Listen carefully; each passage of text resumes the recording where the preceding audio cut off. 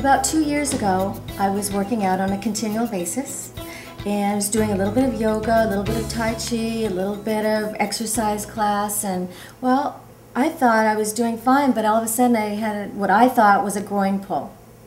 And this lasted kind of painful for about a year, where it really made me hesitate before I would do any big activity. So I came from Hawaii to see Dr. Chow, and instantly liked him, liked his office was great, everybody was very professional. I felt very comfortable being in there.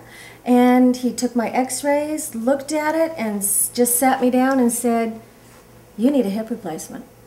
And when he showed me on the x-ray, I could clearly see where the problem was.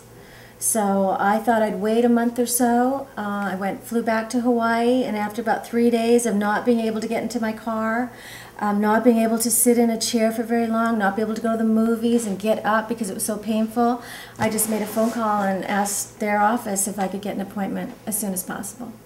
I had my surgery Monday, and here it is a week later, and uh, we're flying home tomorrow, and I feel great.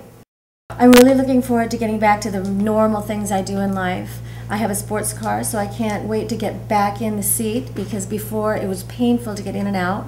So that I'm looking forward to. And just walking along the beach and going swimming and starting up my yoga class again. I would totally recommend this to my friends and family in Hawaii. In fact, I recommended it to two people already. I didn't expect it to be this good. I'd heard the Superpath was the way to go, and I'm thrilled that we made this choice.